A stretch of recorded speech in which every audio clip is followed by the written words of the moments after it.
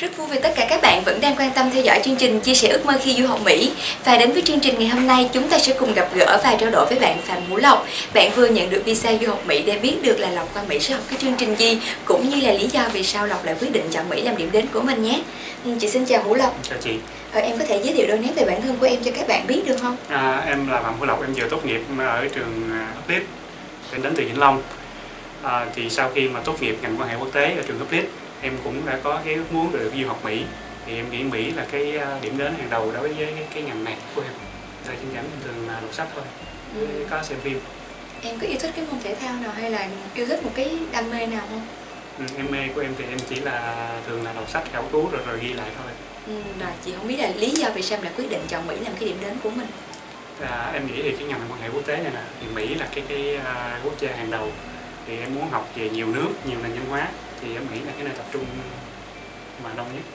Ngoài ra thì à, em đã muốn đi học Mỹ thì dì của em cũng đã khuyến khích em và giới thiệu cho em một cái trường ở gần khu mà dì ở ở bang Vermont.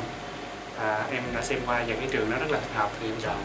Trường đó thì em muốn học ở trường là University of Vermont thì à, đó là một cái trường rất là lâu đời rồi. Hiện tại thì có khoảng hơn 10.000 sinh viên. À, cái đặc biệt cái đặc điểm đó là rất là nhiều ngành nghề rất là nhiều ngành để mà chọn thời tiết ở bang đó thì có mùa đông lạnh. Nhưng mà em chắc cũng không ngại đâu khỏe mà. À, rồi. À, chị không biết thì cái cảm giác mà khi mà em nhận được visa thì em thấy như thế nào ha? Ừm, em thấy à, nhẹ người thấy, thoải mái. Nói chung là thấy sáng sủa rồi. Rồi còn nếu vậy thì qua bên Mỹ thì cái lộ trình em học nó sẽ như thế nào? Em học ở trường là Sun, học tiếng Anh ở trường à, St Michael College.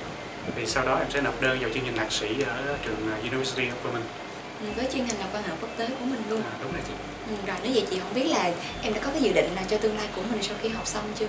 Em dự định là học xong em sẽ về đây để mà xin làm giảng viên đại học.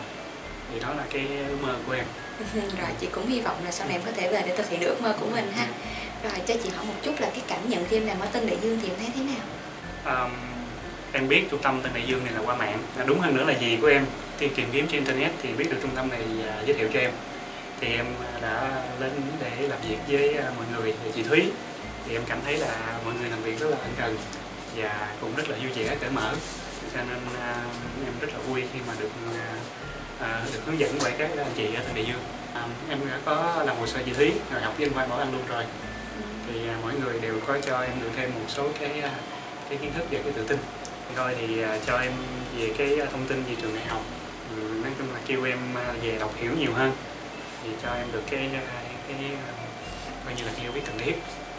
Em bảo anh là động viên tinh thần. Rồi chị Thúy thì giúp làm hồ sơ. Em cảm ơn cảm ơn anh chị sau này nếu có bạn bè hay là người thân đi muốn đi du học thì em sẽ đề nghị họ sử dụng dịch vụ của Tân Đại Dương.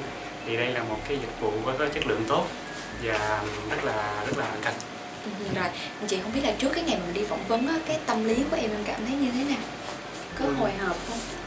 Cũng có một ít hồi hộp. Ừ. nhưng mà em nghĩ là mọi người đã chuẩn bị tốt rồi em cũng chuẩn bị tốt rồi cho nên em cũng à, ráng à, giữ bình tĩnh mà phỏng vấn Ừ. lúc đó em làm cái cách nào để có thể vượt qua được cái ờ, tâm lý của mình lúc đó ha? Em cứ nghĩ là mình đã được ừm, chuẩn bị tốt rồi. Rồi hơn nữa mình cũng không có sợ mà bị đánh rớt đâu. Mình là gan mà. Nói chung là cứ tự tin là được đúng Dạ. không rồi nếu vậy thì em có một cái lời khuyên nào dành cho tất cả các bạn trước khi mà các bạn đi phỏng vấn khi mà xem cái clip này của mình không? Ừm, các bạn nên à, nếu mà các bạn muốn đi vấn được đậu tốt hơn thì các bạn nên à, đọc kỹ về hồ sơ của mình. Đặc biệt là cái hồ sơ về cái à, công việc học trước đây. Người ta hỏi kỹ những điều đó. À, giữ tự tin bình tĩnh. À, em trang phục thì em nghĩ là các bạn nên mặc chỉnh tề bỏ vô quần càng tốt. Áo sơ mi quần jean hoặc là quần tây Ờ, chị rất là cảm ơn những chia sẻ của Vũ Lộc cũng như là những cái thông tin và cũng như là lời khuyên dành cho tất cả các bạn Ừ, chị hy vọng là sau cái thời gian học ở bên Mỹ em có thể trở về thực hiện đúng cái ước mơ của mình là giảng viên đại học nha à, cảm ơn chị. Vâng, rất cảm ơn tất cả các bạn đã quan tâm theo dõi chương trình Chia sẻ ước mơ khi du học Mỹ. Cần thêm thông tin gì các bạn cũng có thể gọi ngay đến số điện thoại 08 3848 4879 hoặc truy cập vào website tân đại dương.edu.vn. Xin chào và hẹn gặp lại.